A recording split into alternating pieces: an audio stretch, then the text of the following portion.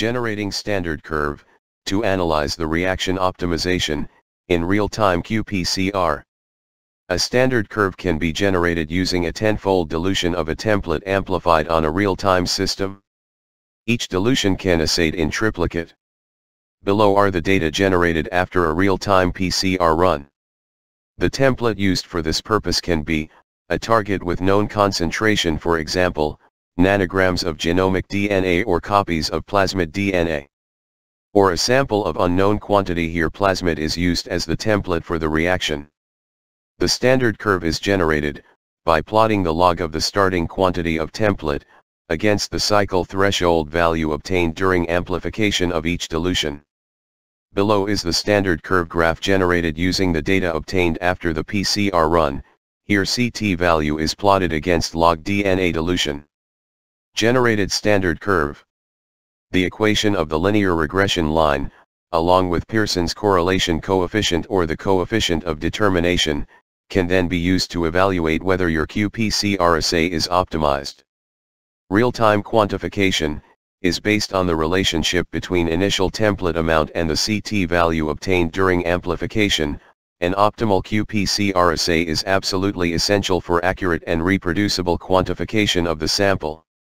The hallmarks of an optimized qPCR are Linear standard curve High amplification efficiency Consistency across replicate reactions One should strive to achieve a PCR efficiency above 90%.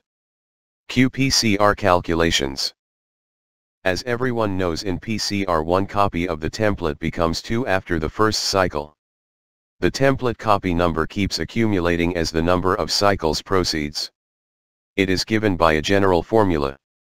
2 to the power n, after 25 cycles one copy of the template becomes 3355442 copies or 3.35 into 10 to the power 7 copies.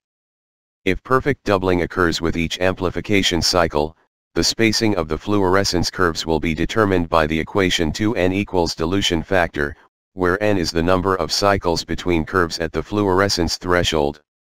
For example, with a tenfold serial dilution of DNA, 2 to the power n equals 10.